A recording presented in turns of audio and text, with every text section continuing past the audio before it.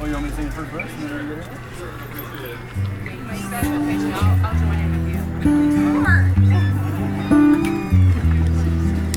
I heard it was a secret chord that David played and it pleased the Lord, but you don't really care for music, do ya?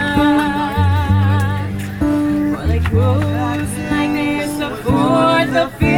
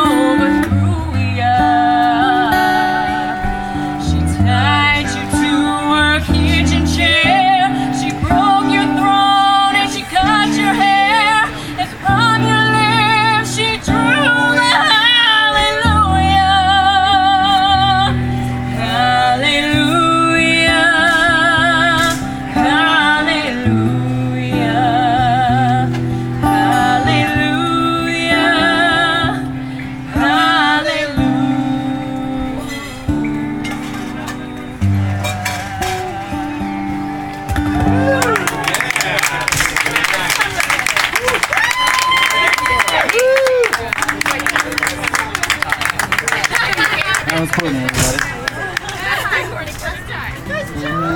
Everybody's just singing today. A walking karaoke bar.